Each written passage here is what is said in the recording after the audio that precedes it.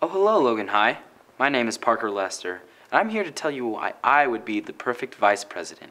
I'm very organized and I have great leadership skills. And let's face it, I'm not too bad at petting cats if I do say so myself. But that's not really what you care about.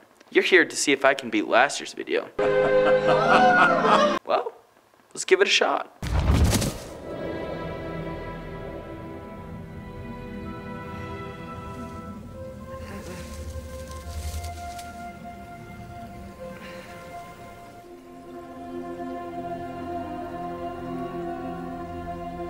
This task of running for vice president was appointed to you, Parker of Logan.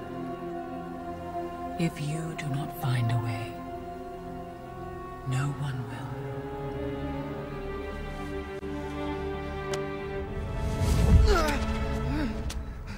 But I wanted to see Gandalf.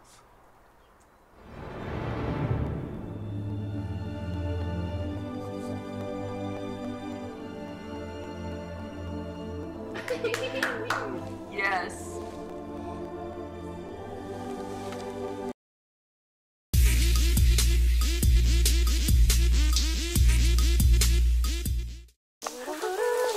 My name is Parker Lester, and I approve of this message.